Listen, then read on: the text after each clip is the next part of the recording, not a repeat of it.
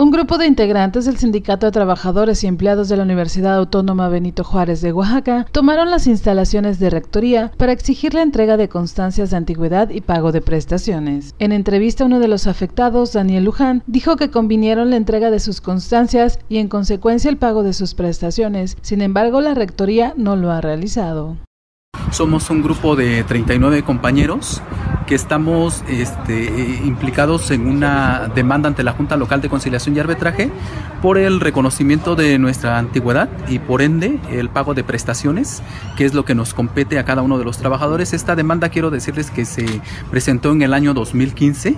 Sí, y a principios del año 2018 sale la resolución por parte de la Junta, en donde condena a la universidad a reconocernos nuestra antigüedad desde el primer día en que entramos a laborar para ella. E independientemente de eso, también condena a la universidad al pago de prestaciones que nos corresponden por esos años que no nos fueron reconocidos y que no nos fueron pagados. Quiero comentar también al respecto que hemos sido un grupo muy tolerante y que en ese aspecto nosotros hemos agotado todo el diálogo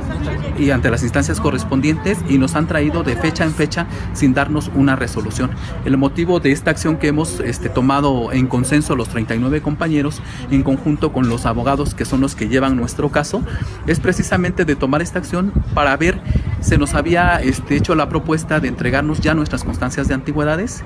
y ahorita estamos en espera de la universidad, no estamos actuando de una manera intransigente, estamos abiertos al diálogo, estamos en espera de ellos, ellos nos van a traer una contrapropuesta en cuanto a la fecha, ¿sí? nosotros nos mantenemos en la que es la del 15 de enero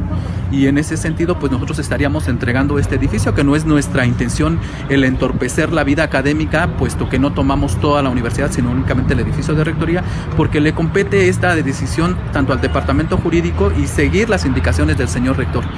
Dijo que de manera simultánea los agremiados tienen un emplazamiento a huelga por violaciones al contrato colectivo y revisión salarial, pero aclaró que esta petición se trata de una demanda de un solo grupo. Así también señaló que no pretenden afectar a los estudiantes ni la vida académica de la universidad, sin embargo de no tener respuestas, continuarán con sus protestas. Con información de Luis Jerónimo, reportó Claudia Ortega.